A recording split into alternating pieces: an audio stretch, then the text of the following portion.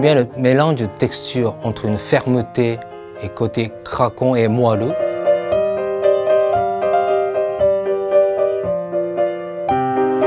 Cette viande vraiment de Côte de Porc ibérique, c'est un porc noir, mûri exceptionnellement, un goût euh, très fin, savoureux. C'est vraiment un des meilleurs porcs euh, qui existent. Craquant de parmesan, une petite salade et les textures de purée qui est bien agréable, qui font à la bouche. De porc, j'enlève quand même une grande partie de matière grasse, hein, qui n'est pas vraiment nécessaire. Vraiment, ce qui est très important, c'est la cuisson. Ça va être une belle rosée. Un petit peu de repos, c'est très important. À la sortie, le feu. Et puis la purée d'artichaut. Il faut éplucher le fond d'artichaut complètement avec 10% de chair de pomme de terre, puis dans la vapeur. Je veux vraiment garder une texture qui est vraiment exceptionnelle, mais fondante à la bouche.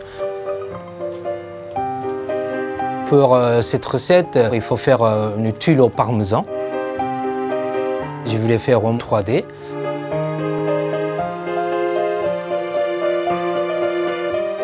Je voulais utiliser une petite salade qu'on appelle euh, aromatique purée de persil plat à la moutarde qui donne la couleur, un goût agréable.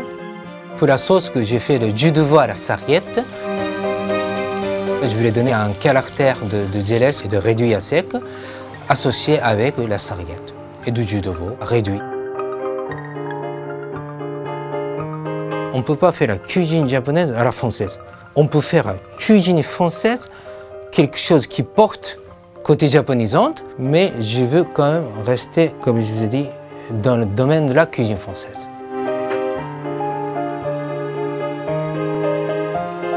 J'avais envie de venir en France. Il a fallu quand même 5 ans pour réaliser pour moi ce rêve. Au début, je comptais rester euh, qu'une année.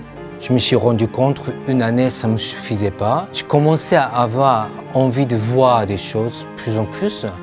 Et donc, je me disais, encore trois mois, encore six mois. Voilà. Maintenant, ça fait 25 ans. Je suis en France.